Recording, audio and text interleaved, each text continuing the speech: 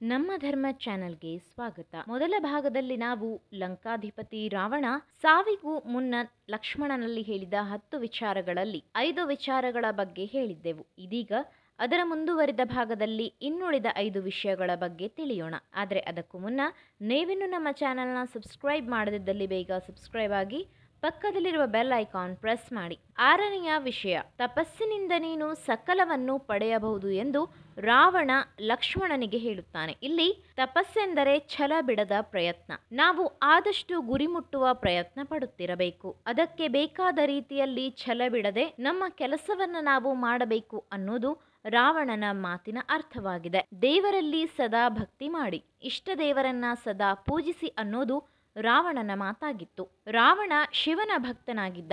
ಶಿವನಲ್ಲಿ ಭಕ್ತಿ ಮಾಡಿದ್ದಕ್ಕಾಗಿ ರಾವಣನಿಗೆ ಹಲವು ವರಗಳು ಪ್ರಾಪ್ತಿಯಾಗಿತ್ತು. ಶಿವನ ಕುರಿತಾದ ಶಿವತಾಂಡವ ಸ್ತೋತ್ರವನ್ನ ರಾವಣನೇ ರಚಿಸಿದ್ದ. ಎಂಟನೆಯ ವಿಷಯ, ಮನುಷ್ಯನಿಗೆ ಆಯುರ್ವೇದದ ಜ್ಞಾನವಿರಬೇಕು. ಯಾಕಂದ್ರೆ ಆಯುರ್ವೇದದ ಜ್ಞಾನ ಶಕ್ತಿಶಾಲಿ ಜ್ಞಾನವಾಗಿದೆ. ಈ ಜ್ಞಾನ ಪಡೆದವನು ಜಗತ್ತನ್ನೇ ಗೆದ್ದಂತೆ. ಇಂಥವರಿಗೆ ಒಬ್ಬರ ಜೀವ ಉಳಿಸುವ ತಾಕತ್ತಿರುತ್ತದೆ ಎನ್ನುತ್ತಾನೆ ರಾವಣ. ಒಂಬತ್ತನೆಯ ವಿಷಯ, ಯಾವುದೇ ಕಾರಣಕ್ಕೂ ಗುರಿ ತಲುಪುವುದನ್ನ ನಿಲ್ಲಿಸಬೇಡಿ. ಜೀವನದಲ್ಲಿ ಎಲ್ಲರಿಗೂ ಒಂದೊಂದು ಗುರಿ ಇರುತ್ತದೆ. ನಾನು ಡಾಕ್ಟರ್ ಆಗಬೇಕು, ಟೀಚರ್ ಆಗಬೇಕು, ಇಂಜಿನಿಯರ್ ಆಗಬೇಕು, ನನ್ನದೇ ಆದಂಥ ಕಂಪನಿ ಇರಬೇಕು.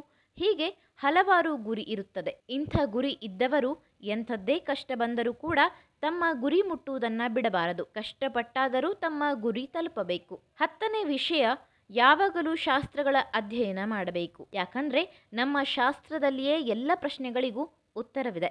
ಹಾಗಾಗಿ ಶಾಸ್ತ್ರಾಭ್ಯಾಸವನ್ನು ಎಲ್ಲರೂ ಮಾಡಬೇಕು ಎನ್ನುತ್ತಾನೆ ರಾವಣ. ಈ ಮಾಹಿತಿ ನಿಮಗೆ ಇಷ್ಟವಾಗಿದ್ದಲ್ಲಿ ಈ ಬಗ್ಗೆ ಕಮೆಂಟ್ ಮಾಡಿ, ವಿಡಿಯೋನ ಲೈಕ್ ಮಾಡಿ, ಶೇರ್ ಮಾಡಿ. ಒನ್ಸ್ ಅಗೇನ್ ನಮ್ಮ ಚಾನಲ್ನ ಸಬ್ಸ್ಕ್ರೈಬ್ ಮಾಡದಿದ್ದಲ್ಲಿ ಬೇಗ ಸಬ್ಸ್ಕ್ರೈಬ್ ಮಾಡಿ. ಧನ್ಯವಾದ.